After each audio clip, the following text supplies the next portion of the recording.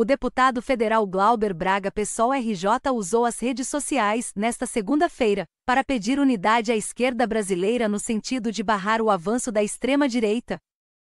No país, segundo o parlamentar, a união entre a velha direita com a centro-esquerda é uma tática de curta duração, a exemplo do resultado das eleições na Europa. O abraço desesperado da velha direita com a centro-esquerda da ordem no mundo pode ser opção tática contra a extrema-direita. Mas é paliativo de curta duração. Olhem aí as eleições europeias. Ou fortalecemos na esquerda a linha antissistema ou é só esperar a tragédia anunciada, disse Braga no X. Ex-Twitter. Braga refere-se aos milhões de europeus que participaram nesta semana de uma das maiores eleições democráticas do mundo, para escolher quem ocupará as cadeiras Parlamento Europeu. O poder legislativo do bloco de 27 membros.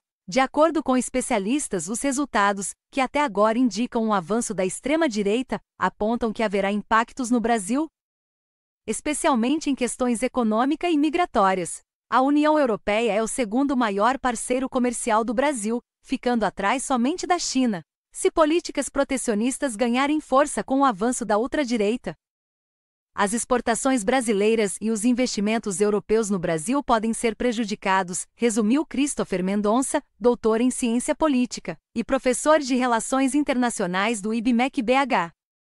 Os grupos conservadores são nacionalistas e protecionistas. Ou seja, vão se priorizar os laços de comércio entre os países da Europa, concluiu Mendonça.